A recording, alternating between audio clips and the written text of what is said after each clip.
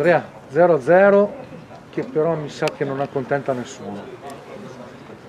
Ma allora, eh, il primo tempo dove le forze eh, erano ancora buone, partita è stata anche una bella partita, a me la mia squadra mi è piaciuta molto primo tempo, palleggiato bene, ha cercato di trovare gli spazi giusti.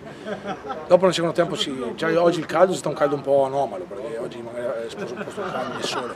In più anche fisicamente abbiamo cominciato un po' come era preventivabile, perché per noi giocare ogni tre giorni è veramente complicato.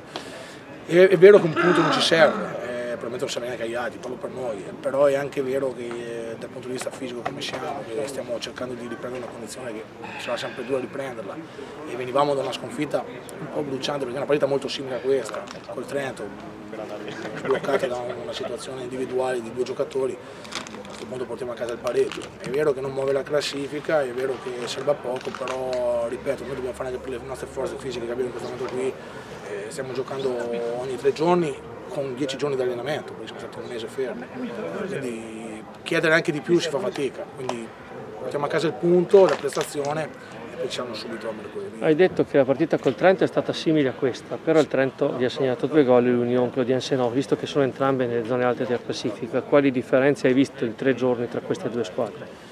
Ma guarda, allora, eh, dal punto di vista del del gioco, un po' della presenza in campo, sono due squadre abbastanza simili, strutturate, forse la Clodiense fa delle, della struttura fisica, della forza fisica che oggi si è visto, perché le tre o quattro occasioni che hanno avuto sono tutte su palinativa, eh, è più forte dal punto di vista fisico, loro hanno un'esperienza importante, penso che l'esperienza del Trento, i tre davanti, più a centrocampo, Caporale Gatto, siano giocatori che possono rompere gli equilibri in qualsiasi momento della partita.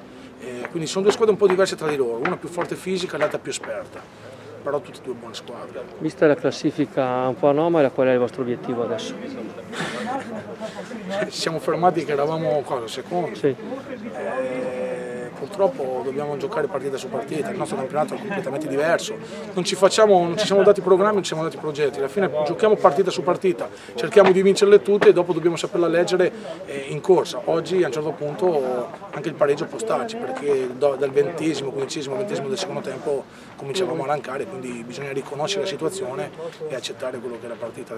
Domenica è un'altra partita e riprendere, quindi partita su partita. Con chi giocherete domenica? Mestre. Okay. Chi ha perso 2 a 4 con l'ultima classifica classifica oggi col Chios? Male, quando gioco contro squadre che perdono mi dà sempre fastidio, però ognuno pensa a se stesso, quindi... No. Grazie. Grazie.